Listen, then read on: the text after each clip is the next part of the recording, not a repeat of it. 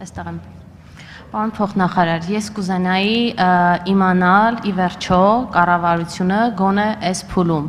ինչ դիրքորոշում ունի դիմակների կրելը կրումը կանխարգելիչ միջոց համարվում է թե ոչ Երկրորդը դուք բազմիցս արդեն մատնանշեցիք, որ հանրային վայրերում, բաց տարածքներում պարտադիր է միայն դիմակների արկայությունը։ Եթե քաղաքացին ենթադրենք շփատներ շարունակ նույն դիմակը պահում է իր մոտ, չգիտեմ, պահում է պայուսակում, որքանով է այդ օգտագործված դիմակի օգտակար գործողության գործակիցը։ նախ որևէ միջոց չունի պետությունը վերահսկողություն իրականացնելու, թե անձը դիմակը քանի ժամ է օգտագործել կամ քանի օր է իր մոտ պահել, ցավում եմ, բայց նման վերահսկողության մեթոդ հայտնի չի աշխարհում որևէ մեկին եւ հնարավոր չէ այդքան վարչական անգամ ռեսուրս ծախսելով հայտնաբերել, թե անձը որքան ժամանակ է դիմակ պահում իր մոտ, հետեւաբար կարծում եմ դրան անհրաժեշտությունն էլ չկա, որովհետեւ քաղաք սա քաղաքացիների պետքա յուրաքանչյուր քաղաքացուն հասցնել, որ սա ինքնանպատակ չեն այս սահմանափակումները, հենց յուրաքանչյուրի առողջության համար է, որ սահմանվել է արկա սահմանափակումները իսկ ինչ վերաբերում է դիմակի պարտադիր դիմակի պահանջը կանխարգելիչ ֆունկցիա ունի թե չէ, կարծում եմ այո, դրա համար էլ սահմանված է այս պահանջը,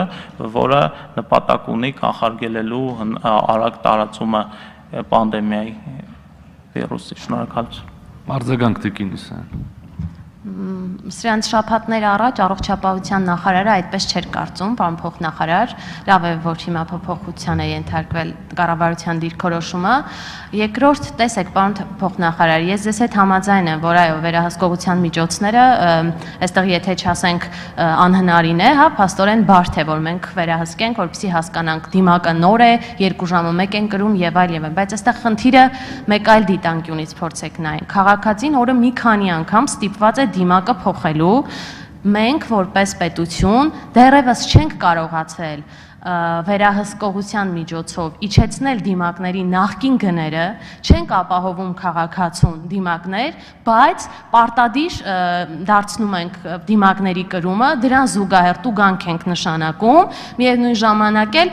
այս տուգանքը հասկանում ենք, որ շատ դեպքերում կարող է ձևական բնույթ կրել, որովհետև ես ասացի, գուցե քաղաքացին ունենա մի քանի օրվա դիմակ, որը հաստատ որևէ օգուտ չի տալիս։ Եվ եւս մեկ բան, եթե հնարավոր է շատ արագ, պարոն փոխնախարար, խնդրում եմ հստակեցրեք, փակ տարածքներում գործատուն պարտավոր է դիմակներ,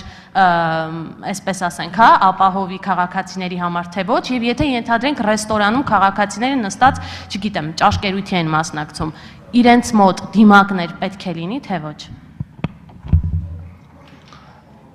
դիմակների պահանջը արդեն իսկ նշեցի, որ կոնկրետ տնտեսվարող սուբյեկտի մոտ մտնելու դեպքում անձը պետք է ունենա, եթե դիմակ չունի այո անձը պետք է ունենա եւ եթե չունի անձը, ապա գործատուն նրան կարող է թույլ չտալ եւ պետք չպետք է թույլ տալ տվյալ տարածք։ Մյուս հարցերից որին արձագանքեմ, խնդրեմ, այնքան հարց տվեցիք Իհարկե ոչ։ Եվ նկատի ունեք չեն ճաշելու պահին դիմակ ունենալու պահանջը, իհարկե ոչ։ Նման, այսինքն, այսինքն ողջամտության սահմաններում պետքա դիտարկել այս պահանջները, որ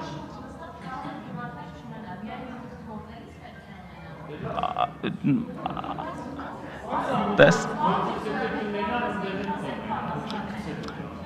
տեսեք պահանջը հետեւյալն է որ ներս մտնելուց պետք է ունենան դիմակ